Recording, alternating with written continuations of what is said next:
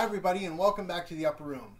And Merry Christmas. This week we're talking about the story of Christmas. Christmas is about family, in particular, the Holy Family. And to help me explain this is my family. Hi. Our story begins in Nazareth. Joseph and Mary are living in Nazareth, and Caesar called a census for all of his subjects that live in his kingdom. Joseph was born in Bethlehem, so they had to travel back to Bethlehem, where Joseph was born, to register for the census. They had to travel 60 miles on the back of a donkey, and Mary was nine months pregnant. Upon arriving to Bethlehem, there were so many rooms taken at the inn because so many people were traveling back there for the census that there was no room. The innkeeper offered Joseph and Mary a place to stay in the manger. And here is where God became man and came into the world. Here is where Jesus was born. Above the manger was a bright star. The Magi were men who studied the stars, and their prophecy was about a king being born under a bright star, which we call the Star of Bethlehem. Because the Magi knew they were going to meet a king, they, be, they, they came bearing gifts gold, frankincense, and myrrh. Which is why we give gifts to others on Christmas. Just as the Magi followed the light of the star to welcome the light of the world, our God, who became man, calls us to become a light in the world as well. One of those lights, whom we all know and love, is St. Nicholas. St. Nicholas was the Bishop of Myra.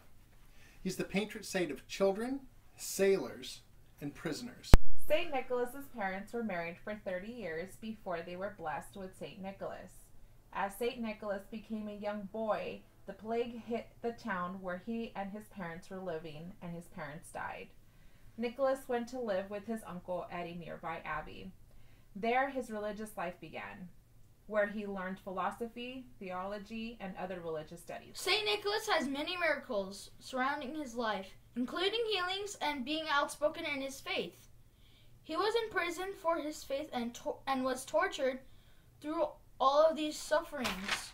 St. Nicholas still professed the goodness of Jesus Christ. St. Nicholas was known for giving to the needy, secretly without taking any credit for what he gave.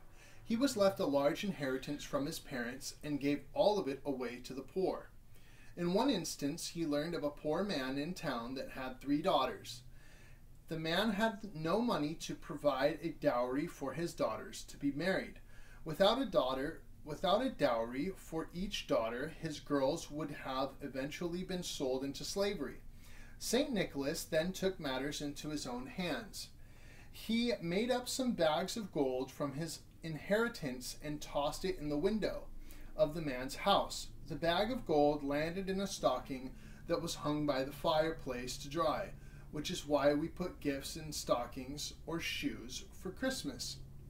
After each daughter was wed, the father decided to try to catch the person who was leaving money to provide a dowry for his daughters. St. Nicholas threw money in the window one last time, and the man caught him to thank him. St. Nicholas ran away, yelling, Thank God, not me. St. Nicholas became a bishop and was on the Council of Nicaea and is partially responsible for the Nicene Creed that we all recite every Sunday during Mass.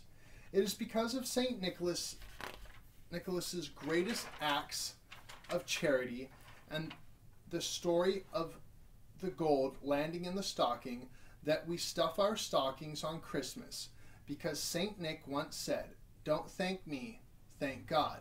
Because it's not about getting, it's about giving. Feliz Navidad! Merry Christmas! Thanks again for watching Upper Room. See you again next year.